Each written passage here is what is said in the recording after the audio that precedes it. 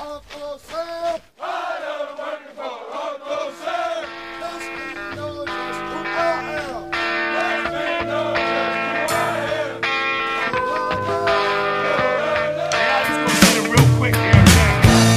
a book called The Pink Marine. It's a memoir about my time in Marine Corps boot camp.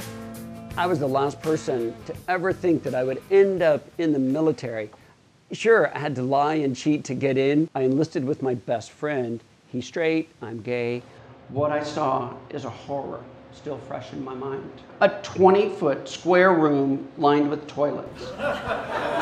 Just what? The Marine Corps should have been legally obligated to show this on the recruiting tape.